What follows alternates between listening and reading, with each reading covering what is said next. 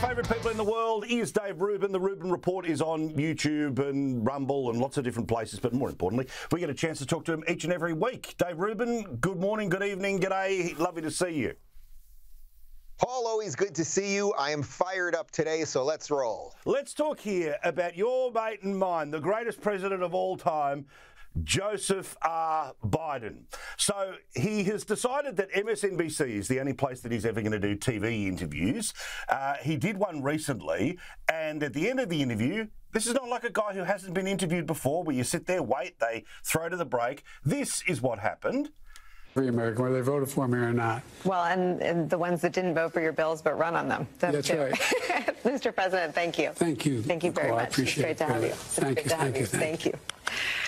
Don't go anywhere. It's a very exciting day around here. Um, we'll have reaction and analysis to everything we just heard. Seriously, he just gets up and walks off, Dave. Paul, the man truly does not know where he is. It's one thing to get confused when you're speaking, it's one thing to slur a little bit. It's one thing to forget the ambassador to India's name or whatever it might be. It's another thing after being in this business for about 50 years to get up as they are cutting to commercial break. And you can see Nicolle Wallace, like hmm. she's just dying inside. And also just that puttering way he walks, like Mr. Burns from The Simpsons.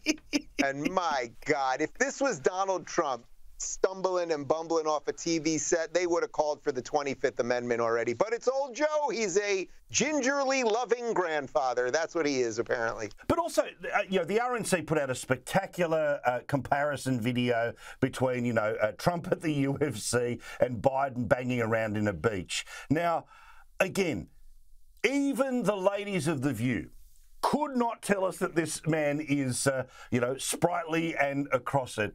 The only reason he is propped up is because the assumption is he's the guy who can beat Trump. The only reason that they will put up with this endless embarrassment, like you're watching with the NATO leaders, and you know the American president's supposed to have a certain swagger. This bloke doesn't have a certain swagger. He has, uh, well, a shuffle at best.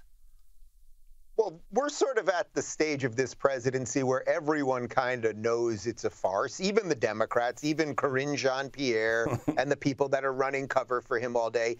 But it's kind of like at the end of a of like a tech company when they've you know they were worth four billion, and then the next day they're worth negative negative six dollars, and then there's some guy like ripping the copper out of the walls just like what can we take from this place that's really what they're doing with biden they are just trying to ride him as long as they can with the hope and prayer that he can get them into office just one more time. And then, of course, they'll replace him. There is simply no way that the guy can do four more years after a year and a half of campaigning or whatever he's going to do to get there. But I, I still, I said it at the beginning. You can watch my videos from the day he was elected.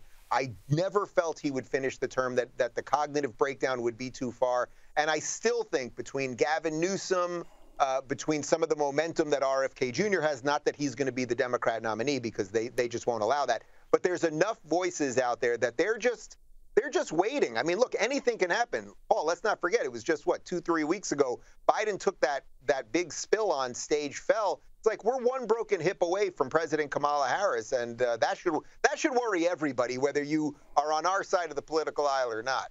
Now, again, we all misspeak, but uh, none of us are the president of the United States, alas. As, but um, the fact that he couldn't remember that the war that is currently playing out uh, and that is the major focus, that is literally depleting the United States of ammunition right now, good to tell China that, isn't it? Is, of course, the war in Ukraine. But when he was talking to reporters, he was still talking about Iraq.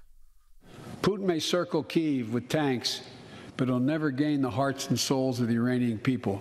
Whether or not they're pulling back from Fallujah, and the, I mean from the the uh, Kherson. You know, we're dealing with it for a whole second. Inflation is a worldwide problem right now because of a war in Iraq and the impact on oil and what Russia's doing. To what extent has Vladimir Putin been weakened by recent events? It's hard to tell, but he's, he's clearly losing the war in Iraq. He's losing the war at home. Yeah, he's done this a couple times. Putin is losing the war in Iraq. Well, that's nice to hear, but I'm more concerned about Putin's uh, situation when it comes to Ukraine, because most of the time he doesn't even realize the errors or the slurs. And then, you know, look, Democrat privilege allows you to basically screw everything up and just you just keep going. So unfortunately, there is almost nothing too ludicrous that he, he could announce the nuclear codes on air and they would still run cover for him. Correct. What about the feminine hygiene CEO who can't possibly say woman? Paul, they are making feminine hygiene products for men. No. And if you can explain that to me, I will send you a bottle of the finest scotch that we have here in America. On the back, it says we're here for everyone who menstruates. And I think, especially in this age of transphobia, it really means a lot to us to be proudly a gender inclusive brand. It makes no sense. It's such pandering drivel. How do these people not realize after what has happened to Bud Light, which not only watched its, you know, Anheuser-Busch stock collapse, Bud Light was the number one beer in America. It's now not even in the top 10 as of today. Not even in the top 10 beers. Wow. Uh, after what happened to Target by going woke and then, you know, losing a ton in market share. How do these companies not realize that by doing this woke nonsense that they are they are pushing people away? But this one is particularly pernicious because it's about it's about biology. I mean, Paul, I'm not a biologist, but I guess I could Google it real quick men men don't have periods unless something's going on in Australia that I don't know. No, correct. But, you know, in this new, crazy, bizarre world, not only do you have to believe the opposite, uh, if you dare question it, then that becomes the problem. The fact that the CEO, because of, you know, this minute number on the side, anyway, it's ridiculous. God love you. All right, Dave Rubin, find the Rubin Report. You can find it everywhere. It's spectacular. And we'll talk to you again next week. See you, brother. See you, man.